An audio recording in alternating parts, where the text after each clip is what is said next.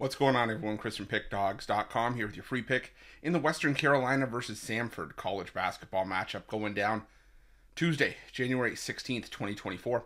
Just a reminder, if you haven't already, make sure you're subscribed to our channel and smash that thumbs up. If you're looking for my best bets, the games that I love the most, including my daily $19 best bet, make sure that you head on over to PickDawgz.com and click the Premium Picks tab at the top of the page.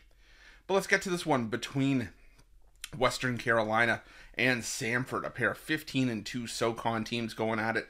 So far, the top two teams in the conference.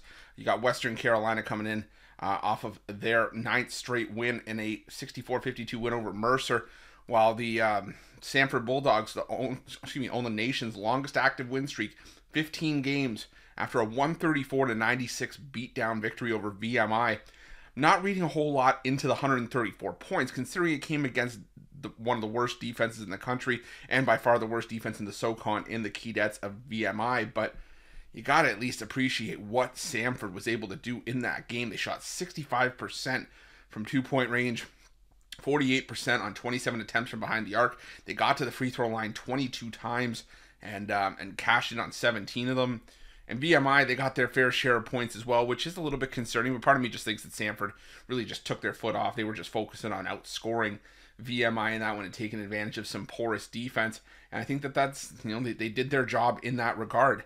And now, you know, they take on a Western Carolina team that at least, if nothing else, has been able to play, you know, defense. If you can't, if you can't hold a candle to, uh, to Samford offensively, the one thing you can say about Western Carolina is they played great defense. They're second in the SoCon in defensive efficiency in conference play, but also second in offensive efficiency as well.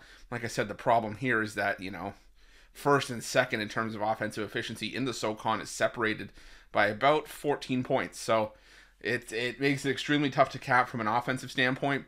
And I'll give Samford credit from an efficiency standpoint, they've been solid as well.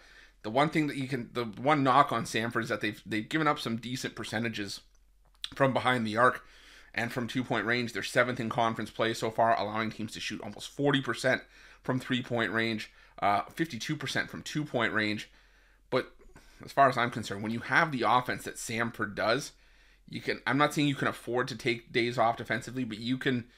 You can feel you can rest a little bit easier knowing that you have the offensive in case you have a defensive lapse. And I think that's just what you got to ride here with with Samford. You know, the Bulldogs have done a great job in this matchup head to head. They have had a ton of success against Western Carolina in the past. Granted, this is a much better Western Carolina team that we've seen in past years, but Samford, they've won five straight in this matchup.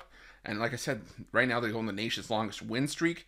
It'd be interesting to see how they fare here. Not a game I'm rushing to the window to bet. This might be a great sort of feel out process game. If you want to just sort of take, you know, tabs on the SoCon, sort of prep yourself for uh, for conference tournament time, and maybe to get an idea if one of these teams ends up making the NCAA tournament. This is a good this is a good game to tune in and check out. So for me, it's a lean towards Samford laying the point or even just taking them on the money line here, but not a game, like I said, not a game I'm rushing to the window to bet. So give me Samford here. That's going to be my free pick. But just a reminder, if you haven't already, make sure you're subscribed to our channel and smash that thumbs up. And if you're looking for my best bets, you can find those at Pick Dawgz Premium. While you're at Pick Dawgz, check out our betting tools. They're 100% free. They're the best betting tools in the business and tools that you want to make sure that you have in your back pocket when you're making your best bets for the day's action. And while you're at our YouTube channel, make sure you have notifications turned on so you can be the first to be in the know when the newest content drops here at Pick Dawgz. Thanks for watching. See you guys soon.